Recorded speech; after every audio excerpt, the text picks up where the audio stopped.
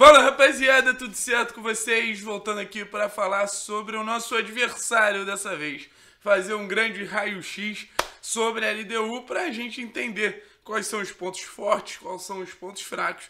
Então, para isso, eu invoquei o famoso quadro Três pontos para a gente citar situações que podem gerar perigo para o Atlético, situações que o Atlético pode se aproveitar das fraquezas desta LDU. Contextualizando um pouquinho, a LDU é um time que tem algumas semelhanças com o Atlético, assim, é um time que ataca com bastante gente, é um time que ataca muito bem, mas não se defende de maneira tão segura. Então acaba criando um cenário de uma certa instabilidade. O famoso cobertor curto que a gente tanto fala em relação ao Atlético. Mas é um time que vem é, conseguindo ser muito competitivo ao longo da temporada, tanto quando se fala de futebol equatoriano, tanto nas competições internas, quanto no futebol sul-americano. A LDU vem da Libertadores, a LDU vem fazendo é, uma boa sul-americana, conseguiu ultrapassar a vantagem do Grêmio construída fora de casa e se classificar.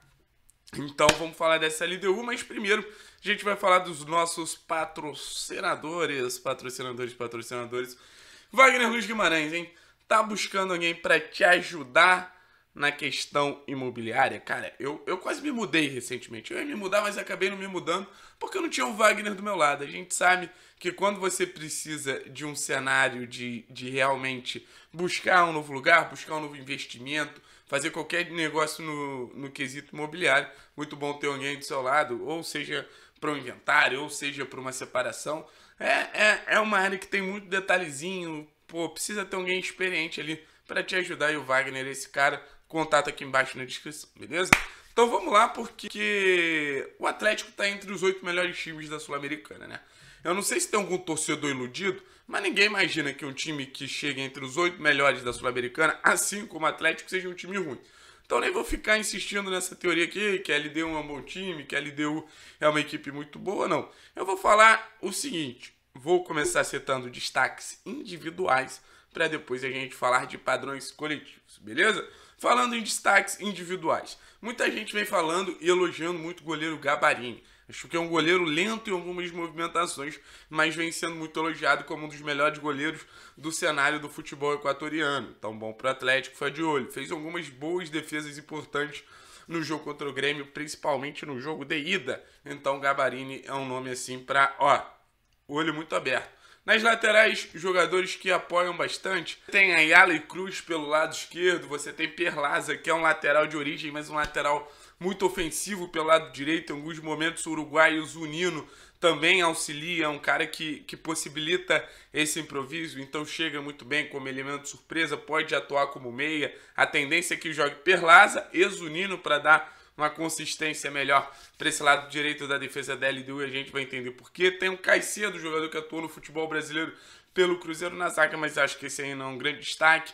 A dupla de volantes de Piove, um jogador de mais pressão, um jogador de mais marcação, dentro de um 4-1-4-1 no momento defensivo, o Piove é esse cara que, que tenta fechar espaço nas entrelinhas, então é mais aquele cão de guarda, mas que chega bem também, finaliza bem de longa distância. Você tem o Alciva, que é mais organizador, um cara que joga de cabeça em pé, chega muitas vezes para finalizar na área, mas é aquele cara que trabalha melhor a bola ali na intermediária, dá um toque de qualidade bem maior ao, jogo da LDU, então é, é um outro jogador para a gente ficar muito esperto, para a gente ficar muito ligado em relação à qualidade. E falando mais à frente, eu tenho meus destaques preferidos, assim.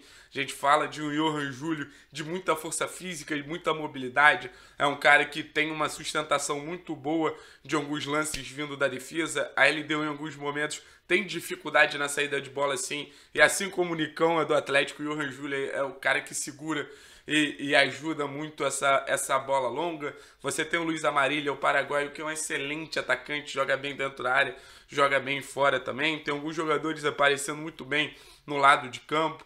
De OKF Riasco ainda é banco de reservas, mas vem crescendo, fez um golaço no jogo contra a Universidade Católica do Equador. Você tem o Adolfo Munhoz, você tem muitos jogadores jovens para fazer esse lado de campo e qualificar ainda mais o jogo da LDU. Então, falando nesse primeiro momento de destaques individuais, vamos para a questão da, dos destaques coletivos, né?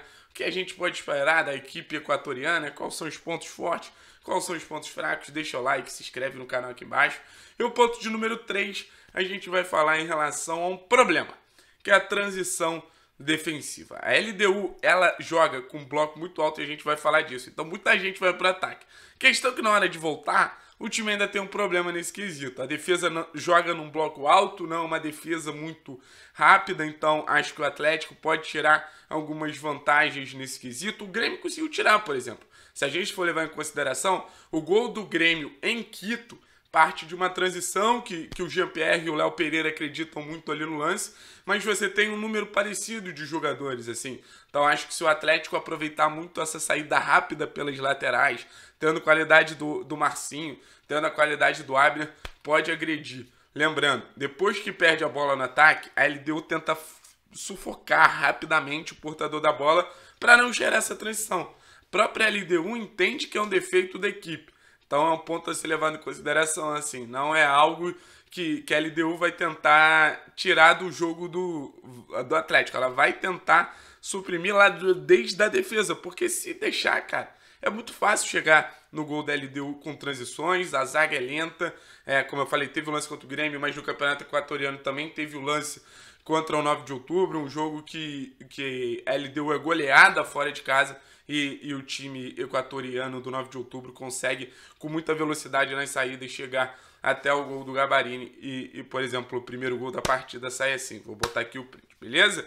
Então, esse é o primeiro ponto falando. Cuidado com a transição defensiva da LDU. Cuidado com a transição ofensiva da LDU também, sabe? O negócio é um alerta para a gente aproveitar. Agora, o ponto de número 2 é, é um, um alerta para a gente não ser é, engolido. Porque a LDU é um dos times que tem uma característica que eu, particularmente, eu gosto muito. Ela ataca com bloco muito alto. Muitos jogadores no campo de ataque. Então, os pontas, que, que variam bastante, eles vêm por dentro. Eles tentam aproveitar o corredor central. Os laterais abrem e são frequentemente utilizados como, como esses jogadores de profundidade. Então, Cruz, ou, ou Ayala pelo lado esquerdo, o Perlaza ou o Zunino pelo lado direito. Então, muitos cruzamentos na área buscando o Amarília, né? O Amarília é um bom jogador, então esse bloco alto, seja em casa, seja fora de casa, é uma característica muito interessante do time da LDU, o que possibilita, por exemplo, a zaga vai ficar atenta com Julio, com Amarília, com, com Munhoz e você tem a chegada do pessoal de trás. O Grêmio toma o primeiro gol contra a LDU numa chegada surpresa do Alciva, se eu não me engano, de cabeça metendo a bola para dentro. Toda a defesa estava bem postada, mas o elemento surpresa é muito interessante, assim como pode ser um perigo para os times que jogam contra a LDU. Então, num aspecto positivo, a transição ofensiva que realmente vale muito a pena a gente destacar. O Atlético vai ter que ter muita atenção, muita compactação, muita precisão na hora dos movimentos, porque eles sempre vão ter dois, três jogadores. Muita gente está falando, ah, mas o Atlético não deve jogar com três zagueiros. Deve jogar com três zagueiros sim. Eles têm muita gente no campo de ataque. Eles tentam concentrar é, dois jogadores em cada lado. O Amarídia sai da área, então você tem o facão acontecendo a todo momento.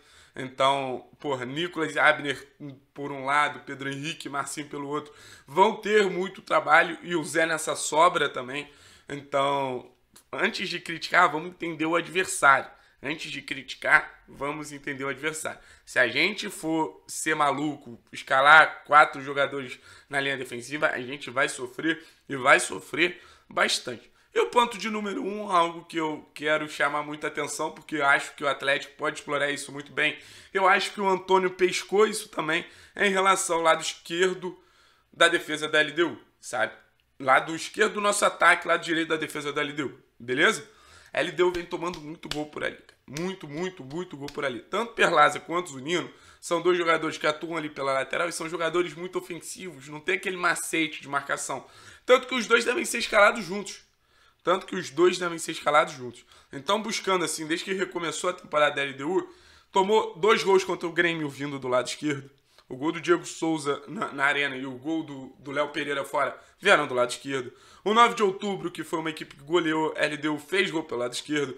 A Católica, que, que empatou agora contra a LDU, dois gols pelo lado esquerdo. Então é claro que a LDU tem um ponto fraco ali. O Atlético tem o retorno do Abner Vinícius, que acho que nesse momento é muito mais importante você potencializar o Abner e por isso a entrada do Nicolas do que você ter um Carlos Eduardo em evidência ali. Então acho que o Antônio leu muito bem as características, pelo menos eu li de maneira parecida e acho que o Atlético tem tudo para fazer um jogo fora de casa.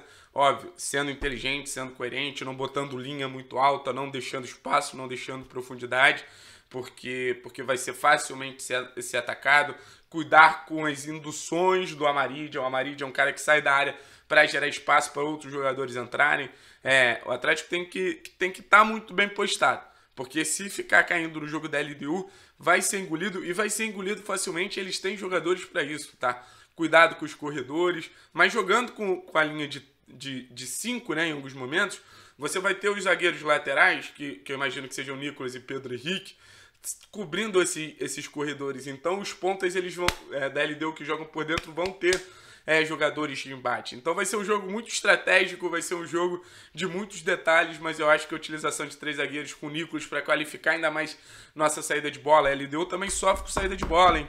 A LDU também sofre. Se você pressionar o Piove, que é o, que é o portador da saída de bola, acho que a gente consegue algumas vantagens. Então, qualificar essa saída de bola com, com o Nicolas e ter dinâmicas para a gente chegar a todos os momentos principalmente pelo lado esquerdo. Espero que o Kaiser esteja num bom dia. Acho que a defesa da LDU abre precedente para a gente acreditar numa falha, para a gente acreditar no momento que eles não consigam defender tão bem. Então é um time de muitos atributos. Daqui a pouquinho começa a live e a gente fala melhor, mas já dá para fazer um, um, um pré-jogo para vocês entenderem mais ou menos o que vem daí dessa LDU, beleza? Tamo juntando, rapaziada.